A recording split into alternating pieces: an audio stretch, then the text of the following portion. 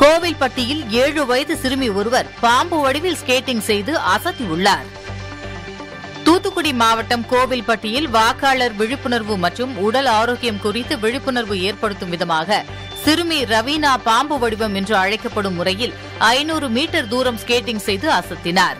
இந்த சாதனை நிகழ்வினை தொடங்கி வைத்த கோவில்பட்டி டிஎஸ்பி உதயசூரியன் சாதனை செய்த மாணவிக்கு பரிசு வழங்கி பாராட்டினார்.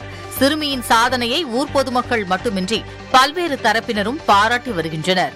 இன்னைக்கு வந்து வாக்காளர் விழிப்புணர்வு மற்றும் உடல் ஆரோக்கியத்தை எல்லாரும் பேணி காக்கணும் அப்படிங்கிறத வலியுறுத்தி ஸ்கேட்டிங்கில் வந்து அஞ்சு நிமிடம் நாற்பது செகண்ட்ஸ் வந்து இன்னைக்கு ஜிக்ஸாக் மூலியமாக வந்து எல்லாரும்